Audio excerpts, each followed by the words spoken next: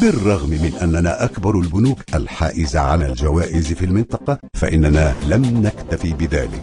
QNB معا إلى الأمام. تتهيأ السلطة الفلسطينية لمواجهة الأسوأ عند تشكيل حكومة جديدة مع نهاية الشهر الحالي في سياق المصالحة التي تم التوصل إليها الشهر الماضي مع حركة حماس. رئيس الوزراء الفلسطيني سلام فياض أعلن في هذا الإطار أن حكومته بصدد اتخاذ إجراءات تقشفية لتخفيض العجز المتوقع للعام الحالي والمقدر بمليار ومائة مليون دولار.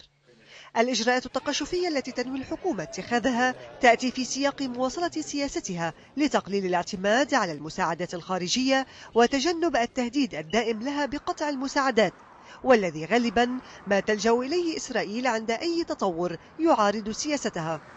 خصوصا وأن هذه السياسة نجحت في تخفيض المساعدات المالية من مليار و764 مليون دولار خلال العام 2008 إلى 742 مليونا في العام الماضي أي بما نسبته 58%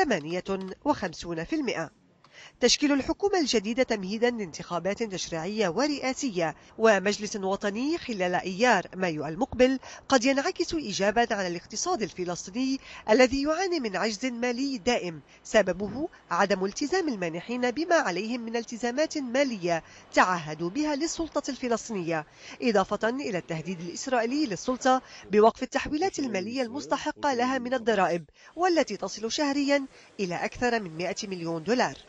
ويشير فياض إلى أن استمرار الانقسام الفلسطيني وحصار قطاع غزة يؤدي إلى حرمان السلطة الفلسطينية من جزء مهم من إيرادات الخزينة العامة.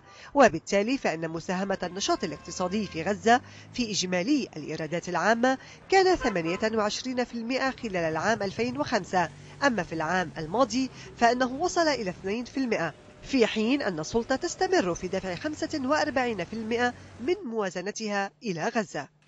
الحكومة الفلسطينية التي تسعى إلى توفير ما قيمته 350 مليون دولار بحيث لا يتجاوز العجز 750 مليون دولار قد تلجأ إلى إجراءات منها فرض التقاعد المبكر على موظفي القطاع العام.